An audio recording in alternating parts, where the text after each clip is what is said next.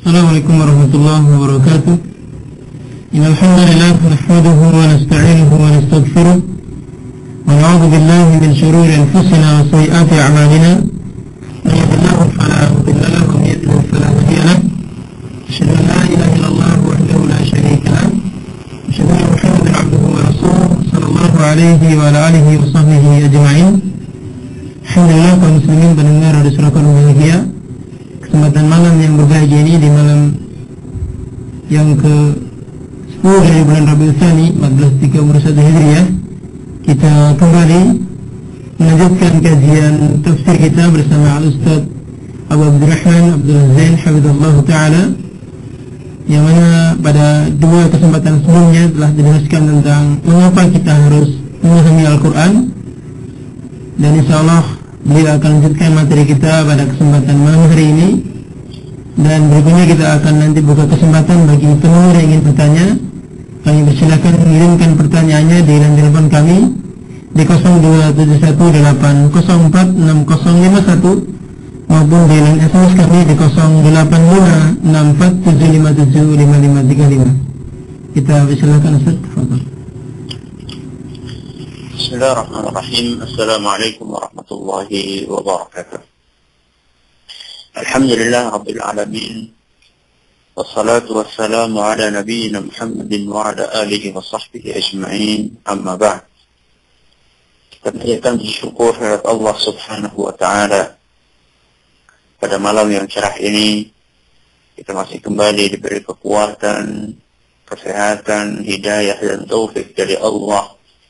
Tabaraka wa ta'ala sehingga kita bisa kembali mengkaji sebagian di antara ilmu agama kita. Semoga Allah subhanahu wa ta'ala berkenan untuk melimpahkan kepada kita ilmu yang bermanfaat sehingga bisa kita amalkan sebagai bekal untuk menghadap kepada Allah Azza wa Jalla kaum muslimin, salawat dan salam semoga selalu tersanjungkan ke Nabi besar kita Muhammad sallallahu alaihi wa ala alihi wa sahbihi wasallam kepada para sahabatnya, keluarganya dan umatnya yang setia mengikuti tuntunannya hingga hari akhir nanti. Kaum muslimin dan kaum muslimat dan radio suara Quran yang kami cintai. Pada pengajian yang telah lalu kita telah mulai membahas tentang sebuah pertanyaan yaitu mengapa kita harus memahami Al-Quran. Dan saat itu kita telah menyampaikan dua jawaban. Dan insya Allah pada malam hari ini kita akan membahas jawaban yang ketiga atau yang terakhir. Meskipun barangkali masih ada jawaban-jawaban lain. Dan tiga jawaban ini bukan berarti jawaban dari pertanyaan tersebut hanya terbatas di tiga hal yang akan disebutkan ini. Ini hanya merupakan sebagian dari jawaban-jawaban yang barangkali bisa dengannya kita jawab pertanyaan di atas. Yang kemarin atau pengajian yang telah lalu kita telah membahas jawaban yang pertama, mengapa Al-Quran? Karena Allah Jalla wa Azza telah memerintahkan hal tersebut dan saat itu kita jelaskan di antara ayat-ayat yang menerangkan tentang perintah untuk memahami Al-Quran adalah ayat-ayat yang berbicara tentang perintah agar kita bertadabbur. Perintah agar kita bertadabbur atau menghayati Al-Quran seperti surat Muhammad ayat 24 dan juga surat An-Nisa ayat 82. Tatkala Allah Subhanahu wa taala memerintahkan kepada kita untuk bertadabbur menghayati tidak mungkin seorang bisa menghayati Al-Quran kalau misalnya dia tidak bisa, seandainya dia tidak memahami Al-Quran. Akan dihayati sisi mananya kalau dia tidak memahami apa yang dia baca. Kemudian hal yang kedua yang kita jelaskan mengapa kita harus memahami Al-Quran adalah karena Rasulullah Sallallahu Alaihi Wasallam beliau mempraktekkan hal tersebut.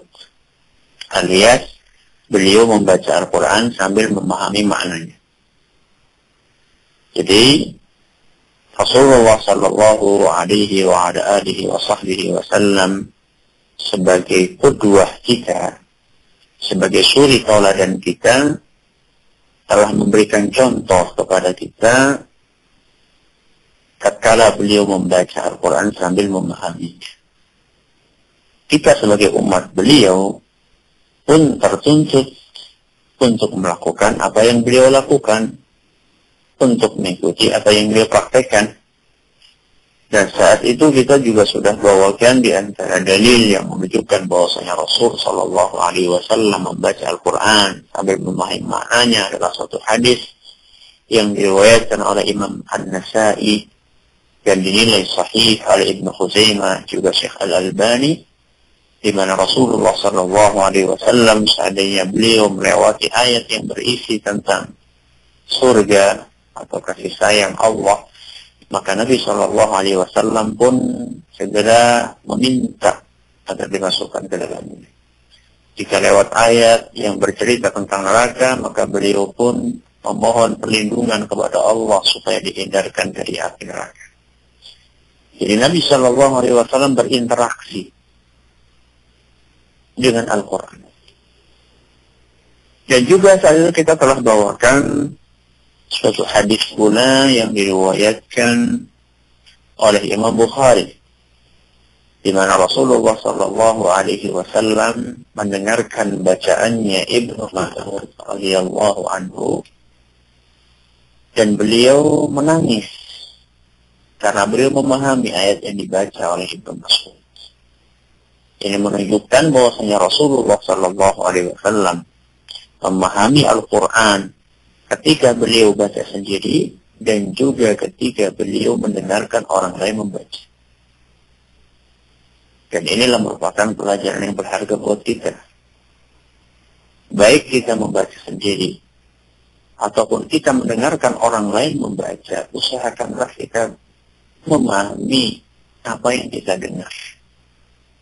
Dan ini tentunya membutuhkan uh, usaha dari kita untuk berusaha membaca Al-Quran terjemah atau berusaha membaca buku-buku tafsir dan terus mengulang-ulang supaya kita bisa memahami apa yang kita baca dan apa yang dibaca oleh orang lain. Sebuah pepatah mengatakan Allah bisa karena biasa. Allah bisa karena biasa. Seorang yang sering membaca surat Al-Fatihah dan dia telah mengetahui maknanya dan selalu diulang-ulang. Ketika dia mendengar atau membaca surat Al-Fatihah tanpa dia membuka Al-Quran terjemah, dia telah paham apa arti dari iya karena abudu wa iya karena sa'in. Apa arti dari ihdinas siratal mustaqim tanpa dia harus membuka kembali Quran terjemah atau membuka kembali buku-buku tafsir. Dia langsung paham. Kenapa? Allah bisa karena biasa. Karena dia selalu membaca dan dia selalu mengingat artinya. Begitu pula ketika dia sudah terbiasa membaca surat An-Nas, Qul a'udzu birabbin nas. Maka dia langsung paham oh artinya ini. Bagaimana seorang bisa refleks seperti itu langsung paham. Ketika dia membiasakan dirinya untuk memahami dan menjadikan otaknya bekerja. Ketika dia mendengar orang lain membaca Al-Quran, dia mendengarnya bukan dalam keadaan ngelamun. Makanya kan Allah Subhanahu wa taala berfirman, وإذا قرئ القرآن فاستمعوا له وأنصتوا لعلكم ترحمون dan seandainya dibacakan Al-Quran maka dengarkanlah dan diamlah sambil memperhatikan maksudnya sambil memperhatikan sambil dihayati otak kita ini kita ajak untuk berpikir jadi bukan hanya sekedar mendengarkan Al-Quran itu bukan hanya sekedar menjadi bukan hanya sekedar pekerjaan telinga saja. Tapi kita jadikan mendengar Al-Quran itu sebagai pekerjaan telinga, otak, dan hati kita. Telinga kita kita gunakan untuk mendengar. Kemudian otak kita kita gunakan untuk mengingat makna dari ayat yang dibaca oleh teman kita, atau oleh istri kita, atau oleh anak kita, atau oleh ibu kita. Kemudian hati kita itu kita gunakan untuk menghayati dari apa yang kita pahami oleh otak kita. Dengan seperti ini maka seorang akan terbiasa untuk memahami Al-Quran di mana suri dan kita Rasulullah Shallallahu Alaihi Wasallam menghayati Al-Quran dan memahami maknanya bukan hanya ketika beliau membaca sendiri, namun juga tatkala beliau mendengar orang lain membacanya. Adapun jawaban yang ketiga yang akan kita bahas pada malam hari ini, mengapa kok kita harus memahami Al-Quran? Yang ketiga jawabannya adalah karena memahami Al-Quran merupakan sarana untuk mengamalkan isinya. Jawaban yang ketiga, karena memahami Al-Quran itu adalah merupakan sarana untuk mengamalkan isinya. Allah subhanahu wa ta'ala menurunkan Al-Quran adalah sebagai petunjuk bagi hambanya. Allah subhanahu wa ta'ala menurunkan Al-Quran sebagai petunjuk bagi para hambanya. Banyak sekali ayat yang menjelaskan hal tersebut. Di antaranya firman Allah Jalla wa'az di dalam surat Al-Baqarah ayat 1 sampai 2. Allah Subhanahu wa taala berfirman, Alif Lam Mim ذلك الكتاب لا ريب فيه هدى للمتقين yang artinya alif lam mim kitab Al-Quran tidak ada keraguan di dalamnya merupakan petunjuk bagi mereka yang bertakwa. Jadi dalam ayat ini Allah Subhanahu wa taala menjelaskan bahwasanya Al-Qur'an diturunkan oleh Allah Subhanahu wa taala sebagai petunjuk. Dikarenakan dan masih banyak ayat-ayat yang lain yang senada dengan ayat yang saya sebutkan ini yang mengatakan bahwasanya Al-Qur'an itu adalah sebagai huda Huda itu aslinya adalah petunjuk. Pendengar radio suara Quran yang semoga senantiasa dirahmati oleh Allah. Dikarenakan Al-Quran adalah merupakan petunjuk, maka harus diamalkan. Dikarenakan Al-Quran adalah merupakan petunjuk, maka harus diamalkan. Kalau misalnya tidak diamalkan, mengapa Al-Quran itu dijadikan sebagai petunjuk? Apa gunanya dijadikan petunjuk kalau misalnya tidak diamalkan? Petunjuk itu ada untuk diamalkan. Kemudian, kalau misalnya kita tahu petunjuk itu ada guna diamalkan, pertanyaan berikutnya adalah bagaimana mungkin kita akan mengamalkan Al-Quran kalau kita tidak mengetahui maknanya? Bagaimana mungkin kita bisa mengamalkan sesuatu kalau kita tidak paham? Katakanlah sekarang ada surat instruksi datang kepada kita dengan suatu bahasa yang kita tidak paham, bahasa Inggris misalnya. Dan kita tidak paham apa isi instruksi yang ada dalam surat tersebut. Bagaimana kita bisa mengamalkan instruksi tersebut kalau misalnya kita nggak paham? Begitu pula Al-Quran. Kita diperintahkan untuk mengamalkan Al-Quran. Mengamalkan isi dari Al-Quran. Dan bagaimana mungkin kita akan bisa mengamalkan kalau kita tidak paham isi dari Al-Quran tersebut. Oleh karena itu, salah seorang ulama yang wafat pada tahun 122 Hijriah, yang bernama Iyas Ibn Muawiyah, beliau pernah berkata, sebagaimana dinukil oleh Imam Al-Qurtubi di dalam tafsirnya perumpamaan orang yang membaca Al-Quran dan dia tidak mengetahui tafsirnya.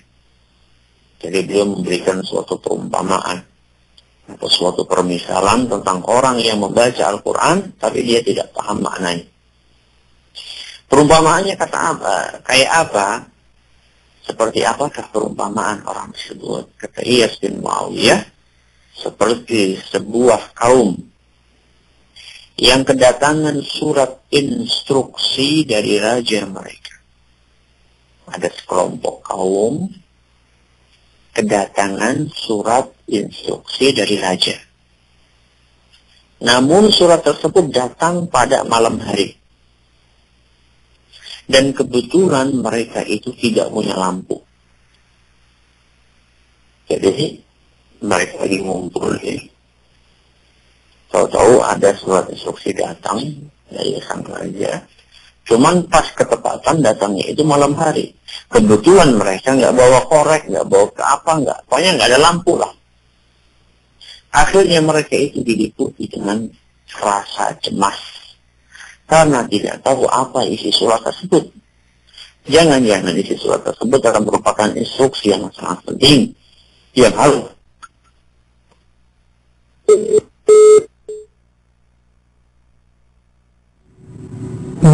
Telah bersama kami kita mencoba pertemuan langsung kembali dengan Ustaz Abu Wajid Alhamdulillah Ta'ala untuk melanjutkan materi kita kesempatan malam hari ini tentang mengapa kita harus menghuni Al-Quran. Ya silakan Ustaz.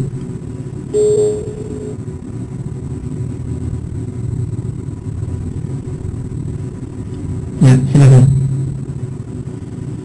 perumpamaan yang disampaikan oleh Iyas bin Muawiyah tentang orang yang membaca Al-Quran.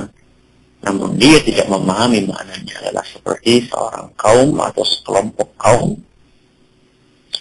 yang kedatangan surat instruksi dari raja mereka. Namun surat itu datang kebetulan di malam hari dan mereka tidak punya lampu untuk membaca surat tersebut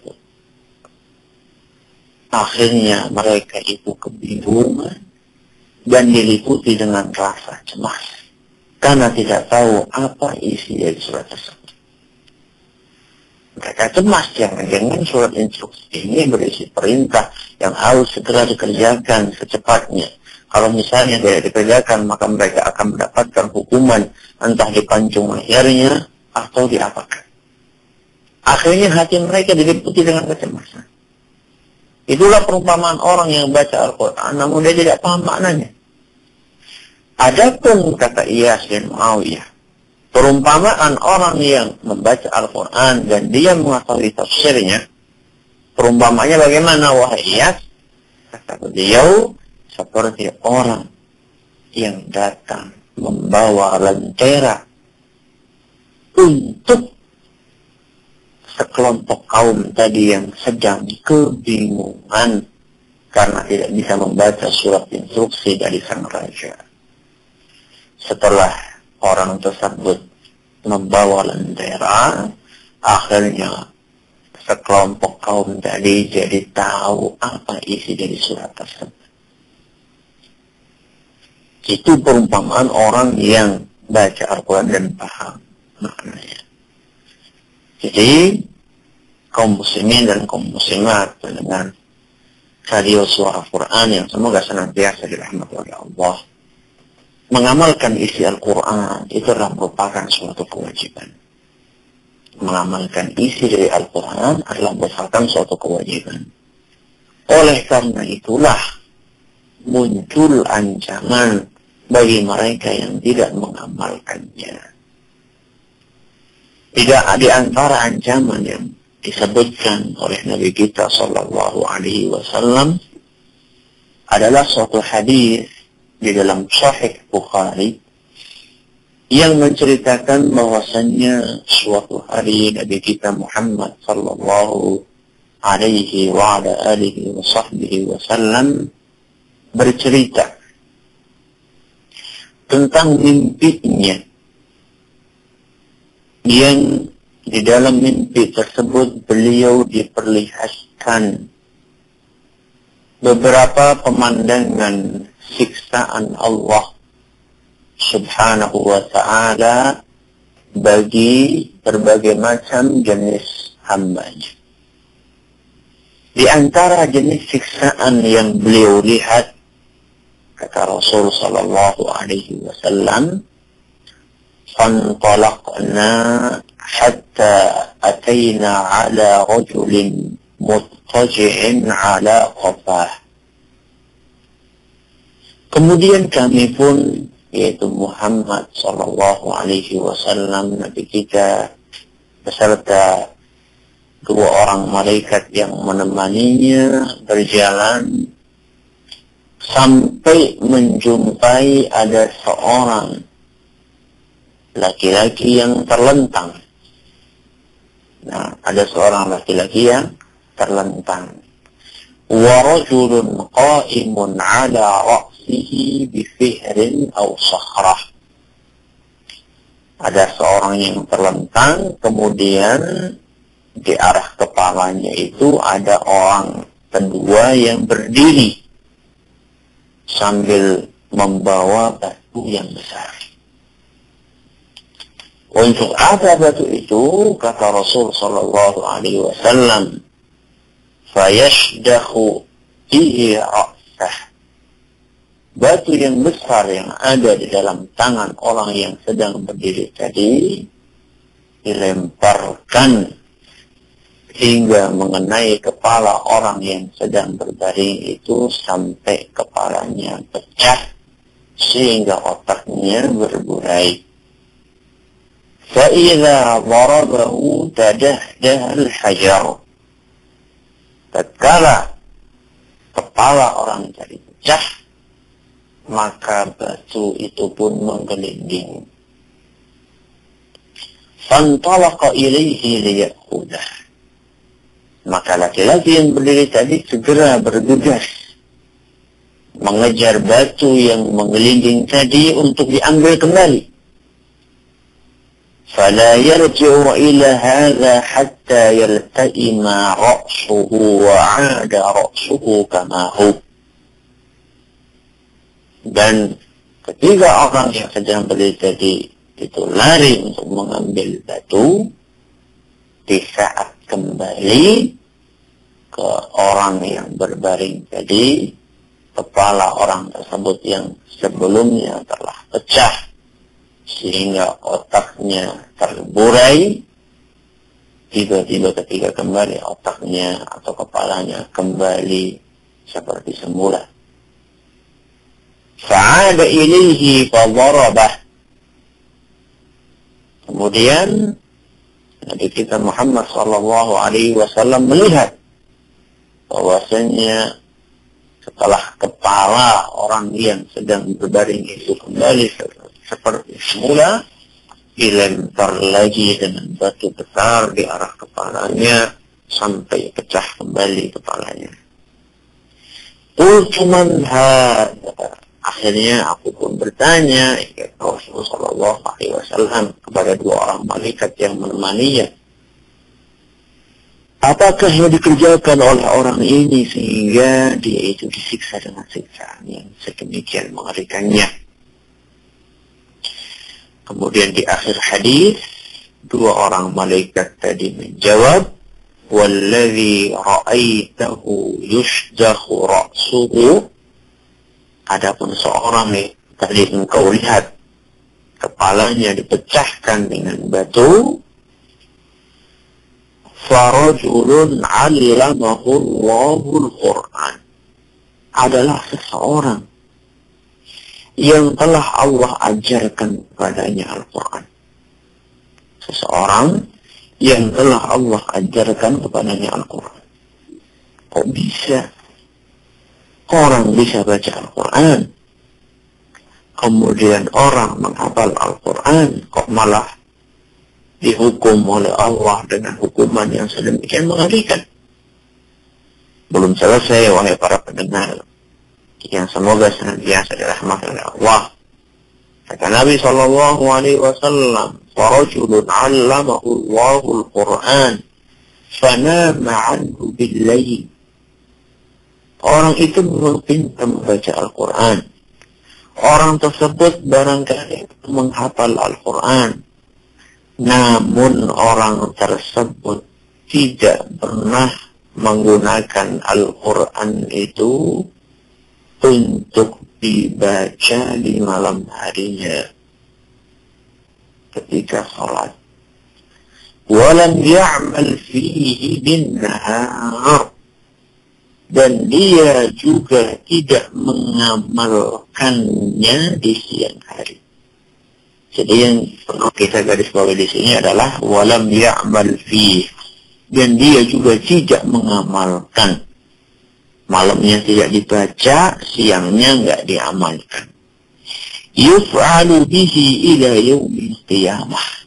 Orang tersebut akan terus disiksa dengan siksaan seperti itu hingga datangnya hari kiamat. Na'udzubillahi min. Hadis riwayat Bukhari dari Samurah bin Jundab. Maka kaum muslimin dan kaum muslimat yang kami hormati. Ini adalah merupakan suatu peringatan dari Nabi kita sallallahu alaihi wa wa agar kita mengamalkan isi dari Al-Quran. Dan tentunya kita tidak mungkin bisa mengamalkan isi dari Al-Quran kalau kita tidak paham apa yang kita baca. Maka marilah kaum muslimin dan kaum muslimat yang semoga senantiasa dirahmati oleh Allah. Marilah kita sisihkan sebagian dari waktu kita untuk mempelajari isi Al-Quran. Kita tidak meminta kepada para pedagang, kepada para pekerja, kepada para guru, kepada para petani, untuk menghabiskan waktunya 24 jam untuk membaca Al-Quran. Sisihkanlah sebagian dari waktu tersebut untuk membaca Al-Quran dan terjemahannya. Jadikanlah itu sebagai acara rutin harian. Katakanlah setiap hari saya akan menyisihkan waktu seperempat jam untuk membaca Al-Quran berikut terjemahannya.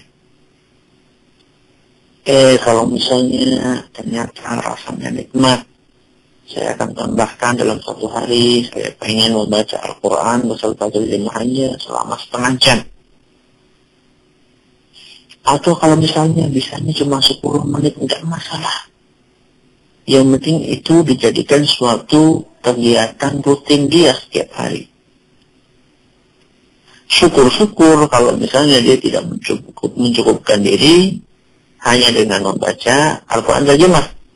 Syukur-syukur kalau misalnya dia juga menyempatkan atau menyisihkan sebagian waktunya untuk membaca buku-buku tafsir yang dikarang oleh ulama ahli sunnah wal jamaah. Misalnya tafsir Ibn Kathir atau misalnya di kalangan ulama ahli tafsir kontemporer seperti tafsir As-Sa'di jadi luangkan setiap waktu untuk membaca buku tafsir kalau memang memilikinya. Terutama surat-surat yang biasa kita baca ketika kita sholat. Ini penting, wahai bapak-bapak dan ibu-ibu sekalian, supaya kita bisa terbantu untuk khusyuk di dalam sholat. Ya, kita tinggal lihat sendiri lebih banyak surat apa yang kita baca. Oh, saya sering baca surat At-Tin, Wat-Tini, Wat-Zaitun, Wat-Turi sini. Coba lihat apa arti dari Az-Zaitun. Apa arti dari Turi sini. Apa arti Wahadal Baladil Amin. Al-kawthar. Fasalli li rabbika wanhar. Inna syani'aka huwal abtar. Ayat yang atau surat yang sangat pendek ini Barangkali masih banyak di antara kaum muslimin yang tidak paham apa apa dari inna syani'aka wal abtar. Barangkali banyak di antara para pendengar sekalian yang belum paham. Apa arti inna syani'aka wal abtar? Padahal surat ini adalah surat yang sangat pendek yang barangkali sering dibaca. oleh kaum muslimin dan kaum muslim. Tidak tergerakkah hati kita untuk meluangkan sebagian dari waktu kita? Sebagian saja kita tidak meminta supaya kita mengeraskan 24 jam. Sebagian kecil dari waktu kita sempatkanlah untuk membaca Al-Quran maknanya, terutama surat-surat yang sering kita baca di dalam sholat, sehingga kita akan terbantu untuk bisa khusyuk di dalam salat-salat kita.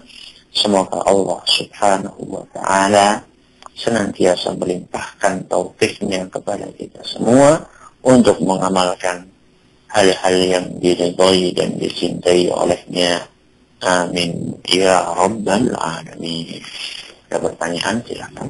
Ya, dengan bagian yang tadi paparan ringkas tentang mengapa kita harus memahami Al-Quran dan bahwasanya Al-Quran adalah hidayah yang diberikan kepada kita semuanya maka kita wajib untuk mengetahui hal tersebut agar kita bisa mengamalkan perintah dan juga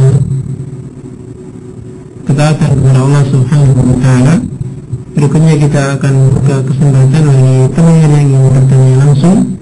Di line telepon kami di 0271804651 di 8046051 dan juga pendengar bisa bertanya lewat SMS di 085647575535 kita tanyakan set ke pertanyaan dari pendengar yang telah masuk di SMS kami dari pendengar kita yang ada di nomor 956 Ustaz yang menanyakan mana yang lebih utama dilakukan membaca Al-Quran dengan terjemah dan makna-maknanya ataukah menghafal Al-Quran dengan terjemahnya saja Ustaz? Mana yang lebih utama antara membaca Al-Quran dengan terjemah dan maknanya ataukah menghafal Al-Quran dengan terjemahnya saja? Mungkin yang dimaksud adalah membaca Al-Quran dengan terjemah dan tafsirnya mungkin ya. Ya, ya. Eh, tentunya masing-masing memiliki keutamaan ya, masing-masing memiliki keutamaan. Batas minimalnya adalah seorang mengetahui terjemahannya andaikan bisa ditambahkan dengan mengetahui tafsirnya jelas itu nurun ala nur cahaya di atas cahaya namun seorang bisa menghafalkan Al-Quran itu dengan mengetahui terjemahannya itu sudah sangat terbantu. Sudah sangat apa? Sudah sangat terbantu.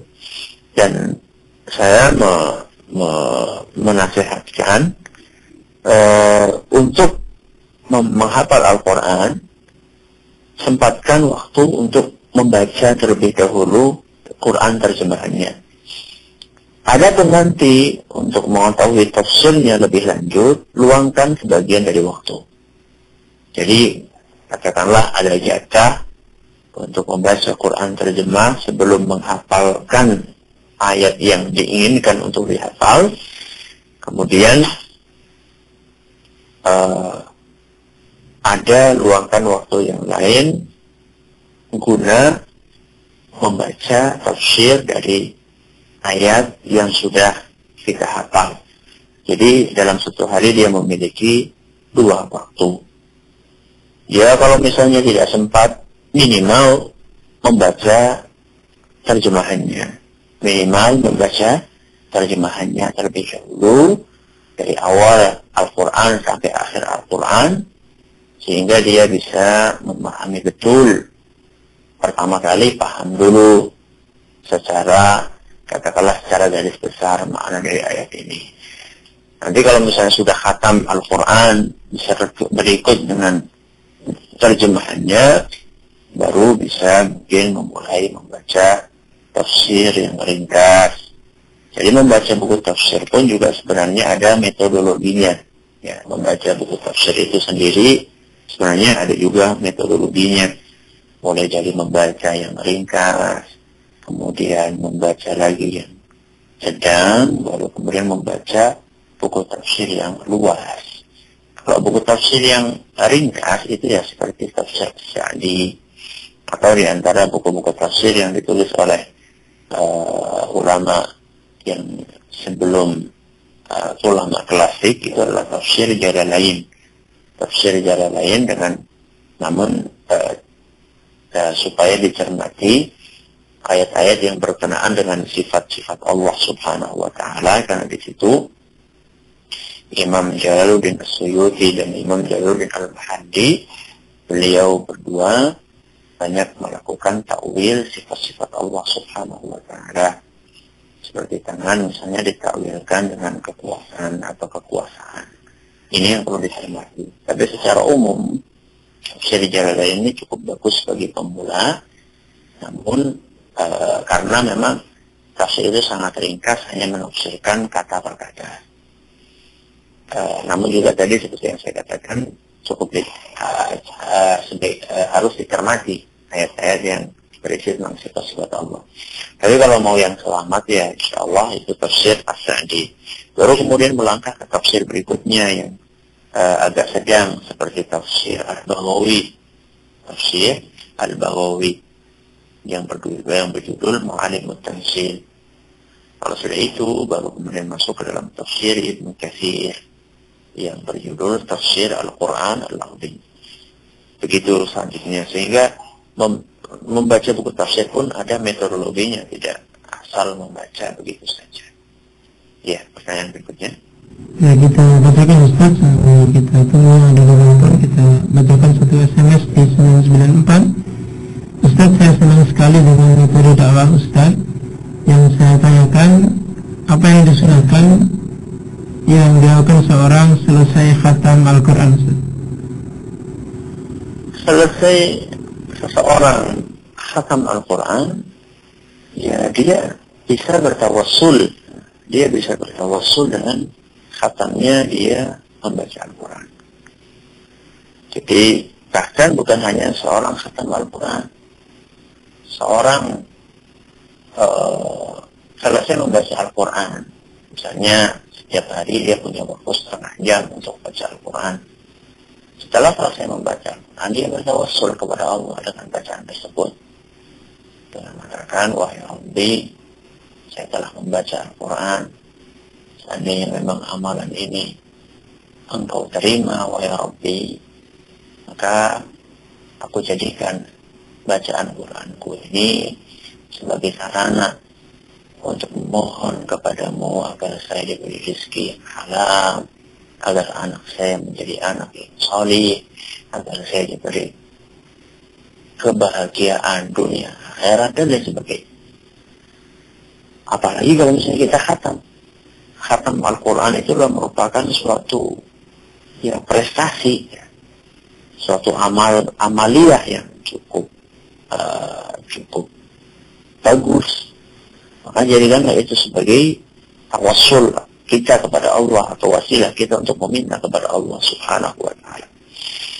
Atau kalau misalnya mau tasyakuran juga nggak masalah. Ya, misalnya Alhamdulillah anak selesai baca Al-Quran. Saya ingin masak. Kemudian saya bagi-bagikan sama tetangga nggak masalah. Namun itu bukan dianggap sebagai suatu ritual yang harus dilakukan. Kalau misalnya tidak dilakukan maka berarti ada sesuatu yang kurang enggak. Nah, itu adalah rasa kurang biasa sebagaimana dulu para ulama kita kayak Ibnu Hajar uh, rahimahullah uh, beliau mengadakan tasyakuran ketika uh, menyelesaikan menulis bukunya yaitu Fathul Bari Syarah Sahih Bukhari. Mengundang para ulama untuk tasyakuran nggak masalah. Nggak masalah selama itu tidak diyakini sebagai suatu ritual yang harus dilakukan kalaupun tidak dilakukan maka akan ada suatu hal yang kurang atau berdosa dan lain sebagainya. Jadi, pertanyaan berikutnya. Nah, kami kita persilakan bagi penonton yang ingin bertanya dari telepon kami. Kita buka di 0271 di 8046051 kesempatan malam hari ini kita bersama dalam kajian tafsir bersama Ustaz Razak Saudara Ta'ala yang tentunya bisa menyimak kajian itu setiap hari pukul 8 sampai dengan selesai. Dan kesempatan ini ini bagi yang ingin bertanya kita buka dengan telepon kami. Di 02718046051 maupun dengan SMS kami di 085647575535 kita bacakan misal ke pertanyaan yang berikutnya dari Ibu Yani yang ada di Purwodadi yang menanyakan Ustaz bagaimana cara agar kita semangat membaca Al-Quran sehingga sampai beberapa juz setiap hari karena kalau sudah capek saya baca Al-Quran hanya dua lembar saja Ustaz Bagaimana caranya supaya kita bisa bersemangat membaca Al-Quran? Pertama, kita mengingat fadilah membaca Al-Quran. Mengingat fadilah membaca Al-Quran. Dan itu sudah kita bahas pada tiga pengajian yang telah lalu. Apa saja fadilah membaca Al-Quran. Di antaranya satu huruf akan mendapatkan sepuluh pahala. Jadi kalau misalnya kita membaca uh, satu halaman Al-Quran, itu berapa huruf itu? Ratusan huruf. Berarti ratusan kali sepuluh. Ribuan pahala kita ambil. Nanti kita tambah lagi dengan halaman berikutnya. Halaman berikutnya. Bagaimana dengan orang yang membaca satu juz? Satu juz itu berapa ribu pahala yang akan kita dapatkan atau mungkin berapa juta pahala yang akan kita dapatkan. Itu akan memotivasi kita untuk membaca Al-Quran sebanyak-banyaknya karena kita sadar betul bahwasanya itu adalah merupakan salah satu bekal kita untuk menghadap kepada Allah Subhanahu wa taala. Umur kita sangat terbatas. Sekarang mungkin kita masih diberi kesehatan oleh Allah Subhanahu wa taala. Seandainya besok sakit, kita nggak bisa baca Al-Quran. Kita terbaring di ranjang putih di rumah sakit mau baca Quran susah. Atau barangkali sekarang kita masih diberi nikmat penglihatan oleh Allah Subhanahu wa taala masih bisa baca Quran. Atau banyak orang-orang yang tidak diberi atau dicabut izin melihatnya oleh Allah Subhanahu wa taala nggak bisa baca Quran. Alangkah sedihnya mereka harus baca Al-Quran dengan huruf braille harus belajar. Sedangkan kita, Allah masih berikan nikmat penglihatan kepada kita. Masih berikan nikmat ingatan kepada kita. Maka jangan sampai kita sia-siakan kenikmatan dari Allah subhanahu wa ta'ala yang luar biasa. Kemudian kita ingat di antara keistimewaan atau fadilah orang yang membaca Al-Quran. Maka derajatnya surga akan semakin tinggi. Semakin sering kita menghatamkan Al-Quran, berarti akan semakin tinggi juga derajat kita di surga. Dan tidak menutup kemungkinan kita akan beserta Nabi kita Muhammad Sallallahu Alaihi Wasallam di derajat surga yang paling tinggi. Dan kita nggak mungkin akan mencapai derajat tersebut kalau misalnya kita tidak banyak membaca Al-Quran. Karena tingginya derajat kita di surga. Tergantung berapa ayat yang kita baca. Semakin banyak ayat yang kita baca, maka itu akan berbanding lurus dengan menaiknya derajat kita yang ada di surga. Dengan kita mengingat-ingat fadilah tersebut, maka insya Allah itu akan memotivasi kita untuk rajin membaca Al-Quran. Kemudian tips yang kedua kepada Ibu Yani dan juga kepada pendengar yang lainnya adalah kita bertahap di dalam membaca Al-Quran. Jadi kalau orang mau lari 10 kilo, 10 kilometer, dan dia sebelumnya nggak pernah lari, bisakah seorang kita paksa baru pertama kali lari langsung suruh lari 10 km. Jawabannya nggak bisa. Kalau dipaksa dia akan pingsan, kalau nggak pingsan dia akan mati. Tapi kalau misalnya seorang dibiasakan hari pertama, katakanlah larinya satu kilo. Sudah Alhamdulillah kuat. Meskipun agak ngos-ngosan dikit. Nanti hari kedua lari lagi. Dua kilo. Atau belum dua kilo. Misalnya hari kedua, hari ketiga sampai seminggu satu kilo. Setelah seminggu dia lari satu kilo, dia udah nggak ngos-ngosan lagi. Minggu kedua dia naikkan menjadi dua kilo. Selama seminggu lagi, nggak ngos-ngosan lagi, naik lagi tiga kilo, naik lagi sepuluh kilo. Sampai akhirnya dia bisa lari sepuluh kilo tanpa ngos-ngosan. Ya demikianlah perumpamaan kita membaca Al-Quran. Kita baca Al-Quran pengennya, wah anak pengen satu hari langsung sepuluh juz kita akan jenuh. Karena kita tidak terbiasa. Tapi katakanlah kita punya target. Saya insya Allah punya target satu hari baca dua halaman. Gak banyak-banyak, gak apa-apa. Satu ain. Atau satu apa istilahnya itu orang satu hizab atau apa. Kemudian nanti sudah terbiasa satu minggu, wah kayak ini rasanya kok kurang ya. Tambah lagi jadi lima halaman. Mungkin ketika baru pindah jadi lima halaman kok kayaknya agak berat ya. Lima halaman ya bacanya harus setengah jam.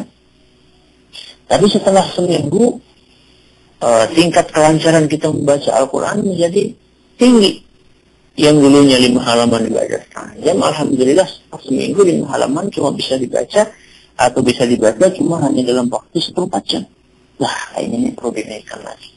Sampai akhirnya bisa misalnya dalam satu hari katakanlah satu juz. Kalau ada sebagian orang yang barangkali dia tidak bisa sekali duduk baca satu juz, mungkin karena dia punya encok atau karena mungkin kata orang Jawa boyok ya, boyoknya sedikit kalau misalnya duduk lama-lama. Bisa dia bagi menjadi lima. Lima kali baca Al-Quran dan tidak lama-lama. Katakanlah kita bagi setiap sholat lima waktu. Sebelum sholat, ada waktu lima menit, baca Al-Quran, satu halaman. Habis sholat, baca lagi satu halaman, satu lembar. Nah, satu lembar. Kemudian nanti baca lagi ketika sholat berikutnya. Dalam satu hari dia bisa baca lima lembar. Dan ringan ringan rasanya. Karena biasanya cuma satu halaman satu halaman satu halaman. Tapi rutin lima kali dalam satu hari. Jadi itu juga salah satu siasat bagi kita untuk apa? Untuk membaca Al-Quran terus yang ketiga adalah manfaatkan waktu-waktu semangat kita jadi kalau kita sedang semangat gunakan sebaik-baiknya Wah, anak biasanya bacanya ini cuma tiga lembar, tapi hari ini rasanya kok semangat sekali. Terus baca terus. Sampai mungkin capek baru istirahat. Kalau pas lagi misalnya suatu ketika lagi males banget. Cuma bisa baca dua lembar. Jangan dipaksa. Jangan apa, jangan dipaksa. Nanti kita menjadi jenuh. Ya. Makanya Nabi kita Shallallahu Alaihi Wasallam pernah melihat ada salah seorang di antara uh, sahabatnya atau sahabiyah atau mungkin istri beliau seingat saya atau sahabiyah yang sholat malam sambil pegangan tali. Kenapa? Karena ngantuk. Nabi Shallallahu Alaihi Wasallam memerintahkan agar sahabiyah tadi atau sahabat wanita tadi untuk tidur. Jangan memaksakan diri kalau ngantuk tidur. Setelah ngantuk setelah tidur bangun seger lagi baca lagi. Jadi Nabi pun juga memperhatikan tingkat kekuatan seorang hamba. Nah kalau memang lagi ngantuk ngantuk ya tidur aja. Jangan dipaksain tapi itu bukan berarti bahwasanya kemudian akhirnya kita itu tidur melulu ngantuk dikit tidur ngantuk jadi enggak maksudnya adalah ketika ngantuk berat yang nggak bisa diusir dengan air wudhu nggak bisa minum kopi tetap aja ngantuk lari-lari di tempat, tetap aja ngantuk, di bawah push up, ngantuk aja. Ya sudah, nggak ada solusi lain kecuali tidur, mau dipaksa gimana? Nah, kalau sudah ngantuk berat gimana lagi? Tapi yang ngantuk-ngantuk dikit-dikit ya kalau misalnya bisa dihilangin dengan kita jalan ke depan, jalan ke belakang, maka ya bisa itu dengan uh, bisa kita teruskan membaca Al-Quran. Ya, pertanyaan berikutnya. Ya, masih ada pertanyaan dengan SMS kami Ustaz. Kita bacakan ke pertanyaan dari Abu Rida di Kalioso. Semuanya kita ke telepon dulu Ustaz. Kami silakan. Assalamualaikum. Ya, dengan Ibu siapa? Nanya ke Umu kelas. Ya, silakan. Ini Ustaz. Ya. Itu bisa yang mana kalau kita rutin baca Al-Quran hanya beberapa ayat tapi mengerti apa maksudnya daripada membaca rutin sampai beberapa lembar tapi hanya sekedar membaca. Ya. Terus kemudian yang kedua, bagaimana ya cara mengatasi kalau kita membaca Al-Quran sih kok caranya ngantuk. Ya. Makasih. Ya. Ya, Ustaz. Alhamdulillah. Ada dua pertanyaan Ustaz dari mulai kita Ali yang ada di Klaten. Yang pertama tentang mana yang lebih utama, yang lebih membahagiakan antara seseorang itu membaca sedikit ayat Al-Quran tapi mengerti maknanya dengan yang hanya membaca banyak juz akan tapi tidak paham artinya. Yang pertama, kemudian yang kedua, kenapa ketika baca Al-Quran kita sering ngantuk Ustaz? Ini kenapa? Fadal. Uh, yang pertama lebih utama mana baca Al-Quran sedikit tapi paham sama baca Al-Quran banyak tapi nggak paham. Lebih utama orang yang baca Al-Quran banyak dan paham. Lebih utama orang yang baca Al-Quran banyak serta paham. Uh, terus kalau misalnya nggak bisa kayak gitu, mana yang lebih baik? Ya saya katakan lebih baik membaca meskipun sedikit tapi paham karena Al-Quran itu diturunkan oleh Allah Subhanahu wa Ta'ala untuk kita tadabburi, untuk kita hayati. Gimana kita akan bisa menghayati kalau misalnya kita nggak paham? Namun sedikit itu bukan berarti kemudian cuma sedikit saja. Nah, sedikit misalnya cuma setahun sekali, bukan itu maksud Anda.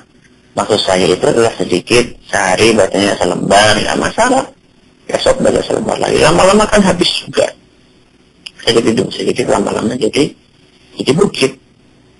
Jadi bukan berarti sedikit itu kemudian sebulan cuma sekali enggak maksudnya adalah sedikit sedikit sedikit sedikit. Sampai akhirnya khatam juga dia membaca Al-Quran sambil memahami maknanya kemudian pertanyaan kedua apa tadi? Lo baca Al-Quran kenapa sering ngantuk Ustaz? kenapa sering ngantuk? Itu macam-macam. Bisa jadi orang itu memang kurang tidur makan ngantuk. Kalau gitu ya nggak ada solusi lain kecuali apa? Saya tidur. Ini yang pertama. Yang kedua bisa jadi dia itu ngantuknya karena memang digoda sama setan. Maka kalau seperti ini ya kita harus berperang artinya digoda di setan kita bagaimana tahu kita itu ngantuk itu ngantuk karena digoda setan atau tidak kita tahunya kalau misalnya tidur kita udah cukup. Ya, sebagian ahli kesehatan mengatakan tidur orang itu sebenarnya 8 jam sehari itu udah cukup. Atau bahkan ada penelitian belakangan ini yang mengatakan sebenarnya 6 jam aja udah cukup seorang itu tidur. Kita udah tidur 8 jam. Dalam satu hari tidur siang udah. Kok masih ngantuk aja? Nah ini barangkali karena godaan setan. Karena godaan apa? Karena godaan setan. Maka ya saat itu harus bertawud. Minasyaitonirrajim. Hamzihi wa nafthihi wa nafthihi.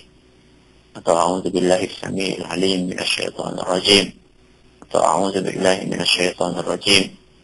Ya. Kalau kita selingi dengan berwudu, ya kalau kita ngantuk kita pergi dulu ke kamar mandi. Dari ruang depan ke kamar mandi kan itu sudah lumayan jalannya itu. Terus itu harus bersentuhan dengan air lagi. Jadi kalau memang kita tahu ini adalah godaan dari setan, maka harus ada mujahadah. Harus ada usaha keras untuk memerangi godaan tersebut. kalau misalnya nggak ada ya kita termasuk orang-orang yang kalah perang dengan setan. Dan ini merupakan uh, salah satu pertanda keimanan kita yang lemah ketika kita kalah berperang dengan setan. Kalau misalnya ngantuk juga, itu mungkin bisa jadi karena penyakit ya. Kalau penyakit ya perginya ke dokter. Nah, penyakit perginya ke dokter kenapa saya ngantuk mungkin karena kurang apa kurang apa itu juga mungkin itu juga bisa pergi ke dokter atau bisa juga karena mungkin seorang yang mungkin ada jinnya di dalam tubuhnya ada apa ada jinnya orang kemasukan jin sehingga setiap dia mau baca Quran jinnya kepanasan supaya jinnya nggak kepanasan dia tiup-tiup itu matanya orang tersebut supaya ngantuk Nah kalau kayak gini ya bukan pergi ke dokter tapi di rupiah supaya jinnya tersebut keluar dari tubuhnya sehingga dia bisa kembali normal seperti biasanya. Ya. Uh, kayaknya pertanyaan, pertanyaan terakhir. Ya kita ke pertanyaan dari pendengar kita Abu di Kaliasa Ustaz yang menanyakan apakah mushaf yang diterbitkan diterbitkan oleh Departemen Agama bebas dari takwil dan bagaimana hukum menggunakan terjemahan mushaf tersebut Ustaz?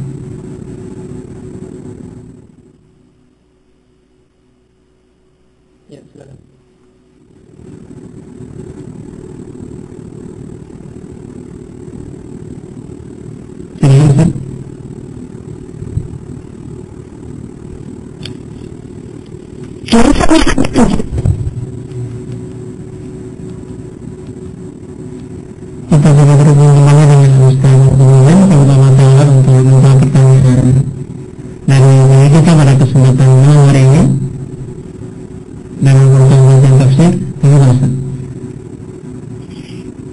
Ya, apa pertanyaannya? Pertanyaan tentang apakah mushaf yang diterbitkan oleh Departemen Agama itu bebas dari ta'wil dan bagaimana hukum menggunakan mushaf terjemahan tersebut Ustaz?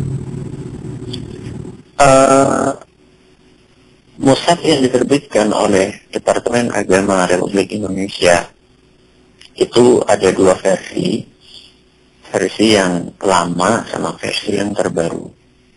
Versi yang terbaru ini adalah versi yang sudah diperbaiki gaya bahasa penerjemahannya. Adapun versi yang lama, eh, yang tahun berapa sih lupa itu, yang tim pentasihnya salah satu adalah Kiai Hafid Jasuki itu sudah dibawa ke uh, percetakan Al-Quran di Madinah.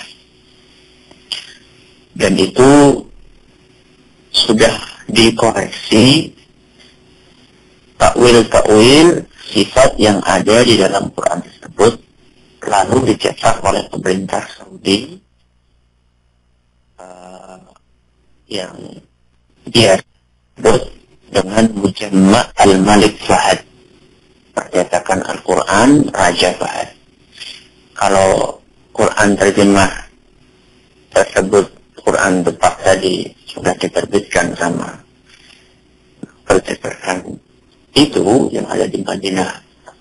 Di kota Rasul SAW maka insya Allah itu uh, sudah bebas dari takwil sifat.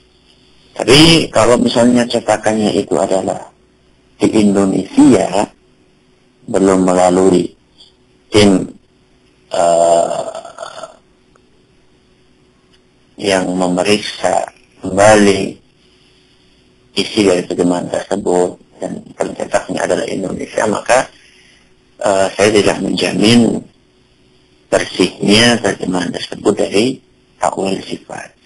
Ini adalah cetakan yang lama. Adapun cetakan yang baru atau terjemahan baru ini setahu saya ketika saya lagi belajar di Madinah masih kuliah di Madinah ada salah seorang ustadz uh, yang atau dua orang ustadz yang salah satunya adalah Dr. Ali Misri yang dimintai tolong oleh Mujamma untuk meneliti terjemahan yang versi terbaru tersebut dan membersihkannya dari takwil-takwil sifat. Alhamdulillah uh, saat itu sebelum Ustadz Dr. Ali Misri ini pulang sudah selesai. Cuman nggak tahu apakah sudah dicetak lagi atau belum. Uh, kemudian di Indonesia juga ada beberapa uh, penerbit, penerbit ahlus sunnah yang mereka berusaha pula untuk mencetak Al-Quran dengan membersihkannya dari takwil. Mencetak uh, terjemahan Al-Quran dengan membersihkannya dari takwil. Mungkin di antara salah satunya adalah Al-Quran yang diterbitkan oleh penerbit Darus Sunnah yang ada di Jakarta. Yang kalau nggak salah dinamakan Mushaf Al-Kamil atau apa saya lupa. Pokoknya yang jelas penerbitnya itu adalah Darus Sunnah Jakarta. Itu juga salah satu penerbit yang berusaha untuk menerbitkan Al-Quran terjemah yang terbebas dari takwil. Uh, mungkin awal cetakan pertama masih ada takwilnya mungkin ya cetakan kedua dan ketiga mereka selalu mengadakan revisi ketika mendapatkan masukan-masukan dari para pembacanya yang kita harapkan semakin dicetak itu akan semakin bersih dari. Itu jawaban saya dari pertanyaan tersebut. Semoga apa yang kita sampaikan atau kita dengarkan pada malam hari ini bermanfaat bagi kita semua atas segala perhatiannya kami ucapkan terima kasih dan atas segala kekurangan kami mohon maaf yang sebesar-besarnya subhanakallahumma wa bihamdika asyhadu an la ilaha illa anta astaghfiruka wa atubu ilaik sallallahu alaihi Muhammadin wa ala alihi wasahbihi ajma'in. Wassalamu alaikum warahmatullahi wabarakatuh. Waalaikumsalam warahmatullahi wabarakatuh. Demikian tadi pendengar bahagia Akhir dari materi Kajian tafsir kita bersama Ustaz Abdul Azan Alhamdulillah Ta'ala. Dan kesempatan berikutnya kita sudah masuk ke materi tafsirnya Ustaz.